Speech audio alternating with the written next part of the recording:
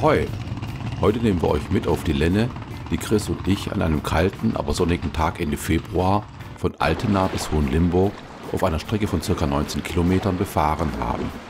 Zahlreiche knackige Schwallstrecken, einige befahrbare Wehre und vor allem der Wildwasserslalomkanal in Hohenlimburg machen die Lenne zu einem ausgesprochen unterhaltsamen Fluss. Die Lenne ist ein 129 Kilometer langer Nebenfluss der Ruhr und deren wasserreichster Zufluss. Sie entspringt im Hochsauerland am kahlen Asten auf 825 Meter Höhe und überwindet auf ihrem Lauf bis zur Mündung in die Ruhr einen Höhenunterschied von 728 Metern. Dieses Gefälle verspricht eine schnelle Strömung und interessante Schwallstrecken.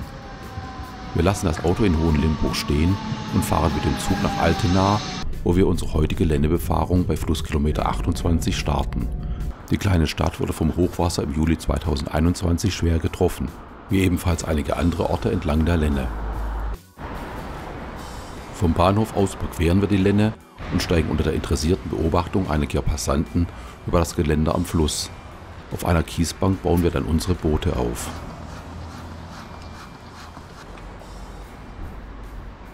Let's go! Gleich nach dem Start erfasst uns eine zügige Strömung, die das Paddeln sehr angenehm macht.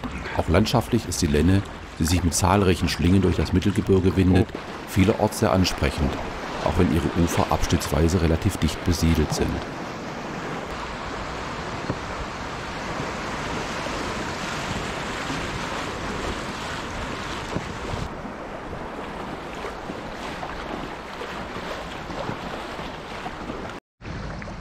Landschaftlich besonders beeindruckend ist die enge Flussschlinge hinter Altena, auch weil die Straße und die Eisenbahn das enge Tal auf ca. 2 Kilometern verlassen.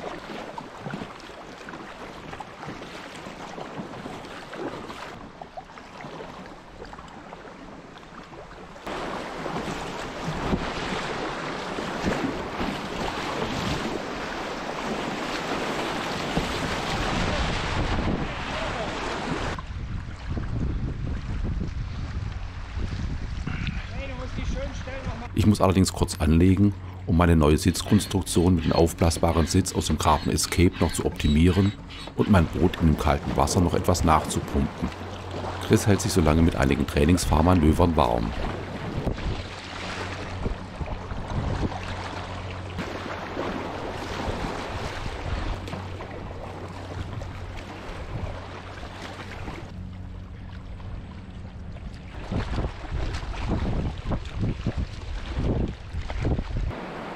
Flusskilometer 25 teilt sich der Fluss in zwei Arme und wir erreichen das erste Wehr.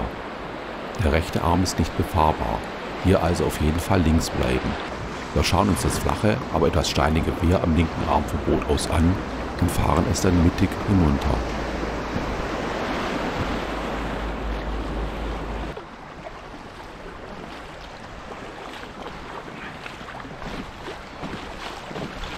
Wenn einige frühere Wehre inzwischen abgebaut wurden, ist die Lenne leider immer noch an vielen Stellen zur Stromerzeugung aufgestaut, was sie für eine durchgehende mehrtägige Befahrung weniger attraktiv macht. Einzelne Abschnitte sind dagegen wassertechnisch spannend und landschaftlich attraktiv, so etwa der Oberlauf zwischen Schmallenberg und Altenhundem sowie der von uns befahrene Abschnitt im Mittel- und Unterlauf von Altena bis Hohenlimburg. Allerdings ist ein guter Pegelstand angeraten, weil zwischen Altena und Legnate zur Stromgewinnung viel Wasser abgeleitet wird. Mit unserem heutigen Pegelstand in Altena von 136 cm haben wir damit aber keine Probleme. Und auch die Wehre sind mit einer einzigen Ausnahme damit gut zu befahren.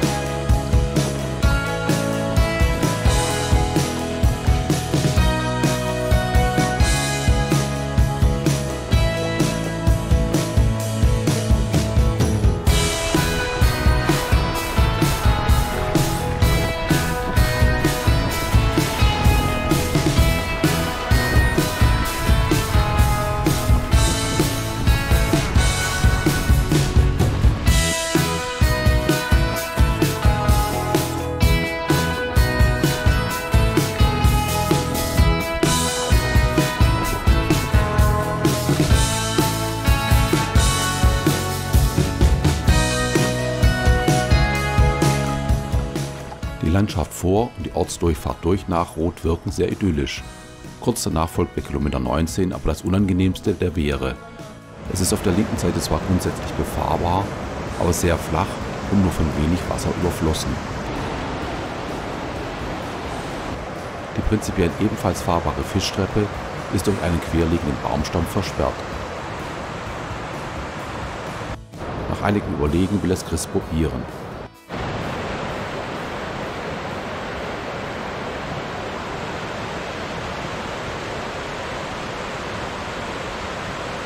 Das Ganze sieht aber nicht sehr elegant und vor allem nach hohem Materialverschleiß aus.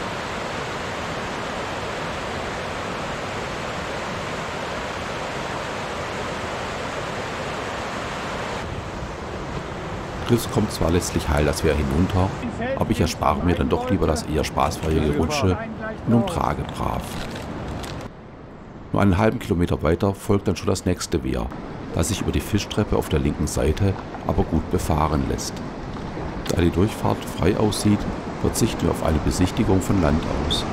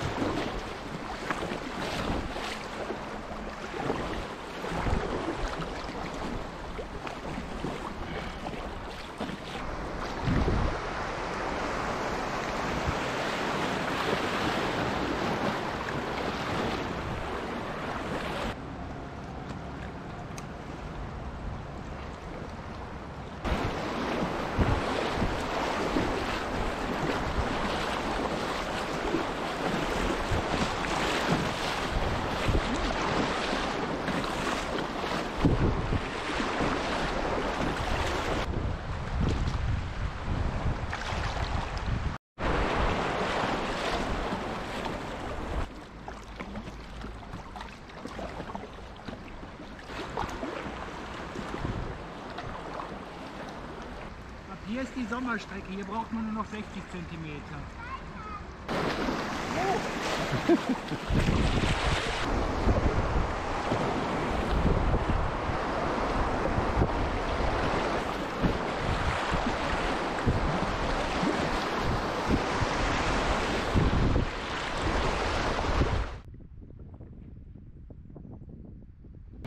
Am rechten Ufer entlang des ThyssenKrupp-Werks am Ortsanfang von Hohenlimburg scheint das Ruhrgebiet dann plötzlich schon sehr nah.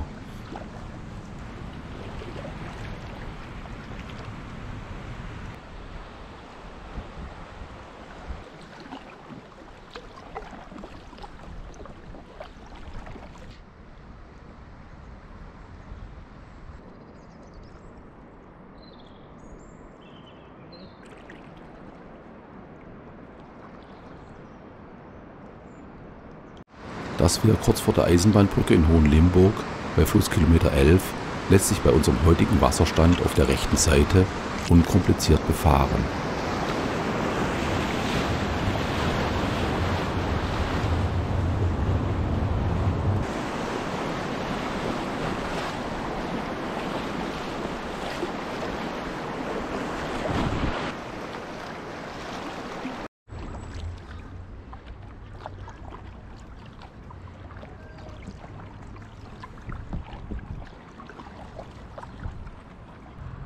Mitten im Stadtgebiet von Hohenlimburg sehen wir einige Nutrias, die hier offenbar regelrecht angefüttert werden und ihre natürliche Scheu vor Menschen fast vollständig abgelegt haben.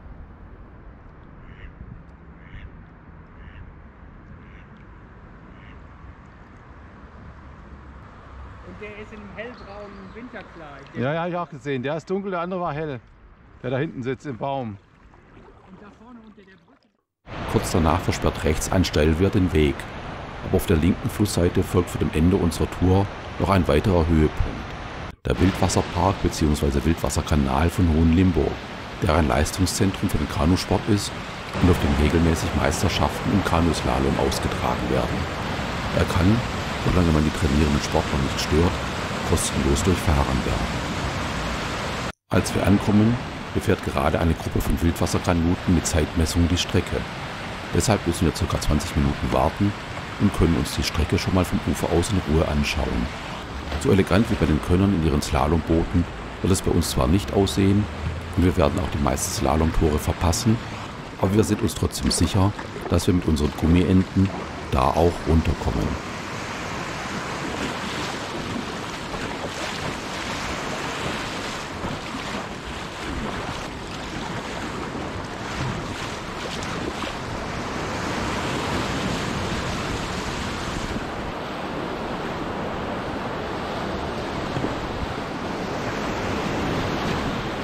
Vergleich zu den eleganten Slalombooten hüpfen unsere Swings wie Korken über das Wasser.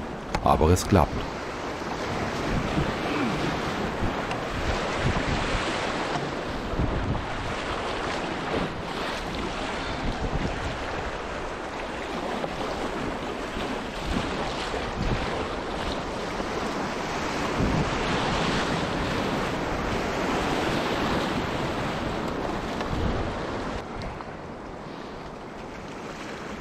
Macht doch Spaß. Geht doch. Weil es so viel Spaß gemacht hat, fahren wir unsere Boote wieder hoch zum Einstieg und befahren die Strecke gleich noch ein zweites und ein drittes Mal.